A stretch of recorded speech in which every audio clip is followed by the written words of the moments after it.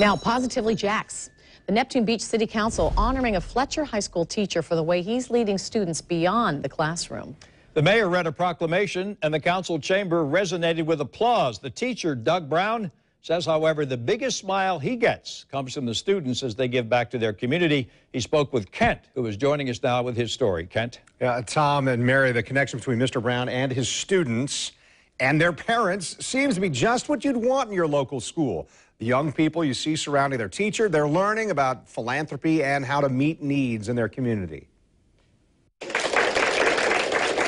Doug Brown received the mayor's proclamation Monday night, recognizing his outstanding contribution through education. He already told me was his favorite part of the ceremony.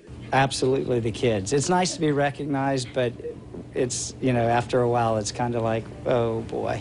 So it's definitely better to have them uh, on a daily basis. These are some of the 100 students Mr. Brown leads through the Interact Club at Fletcher High School.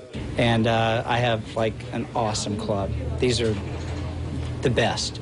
A Rotary sponsored club, they've raised money and done various service projects, including the one that touches veterans' lives. They've raised $40,000 for K9s For Warriors. We've sponsored uh, four dogs, and we're working. By the end of the year, we should have number five taken care of. And uh, so it's, it's a very worthy cause. And that's why the kids have embraced it so well. It is incredible. Um, when Doug first came to us, we weren't sure where the partnership would go.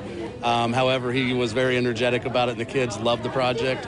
Um, they went out every weekend and sold the rubber bracelets for the first dog and sold 10,000 of them at a dollar a piece for their first dog.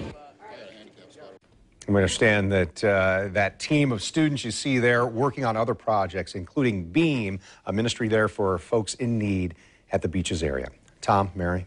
Thank you.